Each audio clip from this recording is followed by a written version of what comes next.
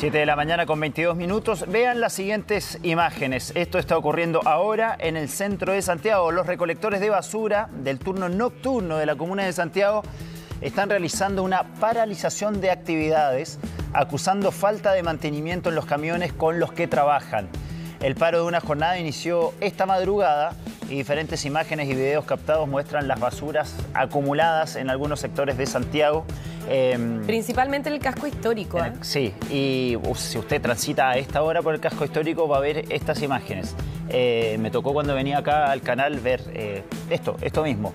Muchísimas bolsas de basura ahí en las veredas porque finalmente hay un paro de recolectores de basura que están argumentando que las máquinas, que los camiones donde hacen estas recolecciones están en muy mal estado, que habría que actualizarlos y es por eso que han decidido paralizar de funciones. Por ejemplo, no tienen luces traseras en buenas condiciones como para alertar al resto de los vehículos que están realizando su labor.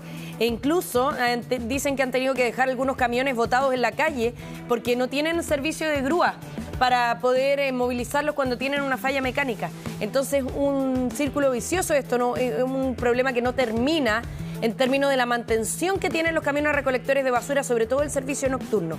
Pero hay una buena noticia porque esta paralización de anoche sería una señal de alerta que ellos quieren mandar.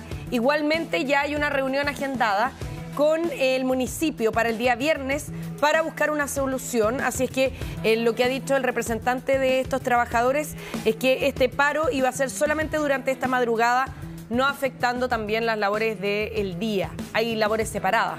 Por lo tanto, estos desechos van a ser recogidos por el turno de día. Sí, estas son cuadrantes que incluyen más que nada el casco histórico de Santiago. Que, me da la impresión que también está incluido eh, todo lo que sería Barrio Makes, donde también se está acumulando mucha basura a esta hora. Así que ya lo saben, si transitan por las calles de Santiago Centro, muy probablemente van a encontrar esta escena. Em, papeles tirados, bolsas de basura a la salida de los distintos edificios y casas, porque los camiones no pasaron durante la madrugada e incluso esta situación, más allá, eh, hay que ver si se regulariza durante el día, porque son servicios distintos, eh, podría ser que se acumule muchísima basura durante el día y que recién la, la recolección de lo que estamos viendo ahí en pantalla se produzca en la madrugada del jueves, es decir, en 24 horas. Eh, claro, eh, a pesar de que el dirigente de estos trabajadores lo ha descartado, entendiendo que igualmente como están diferenciados los turnos, va a pasar el turno de día y va a recoger necesariamente lo que hay en el lugar. Ahora vemos ahí, por ejemplo, yo no sé si si habrán pasado los perros por ese lugar y habrán roto las bolsas, porque también llama la atención la cantidad de papeles en la calle, ¿no? Habitualmente, la, mira, por ejemplo ahí, la gente no bota las cosas, se supone, de esa manera, sino que además hay contenedores, lo hacen bolsas de basura, eh, por último, si son papeles, lo hacen en cajas de cartón, pero lo que llama la atención también es la cantidad de basura que eh, está dispersa en la calle y puede ser también que hayan pasado perros por ese lugar y hayan empezado a romper las bolsas que estaban ahí.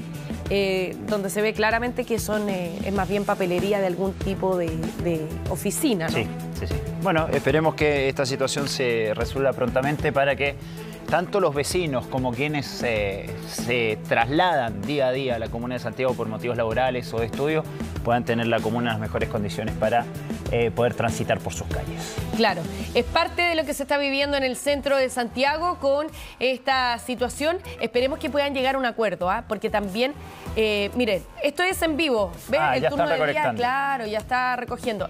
Claro.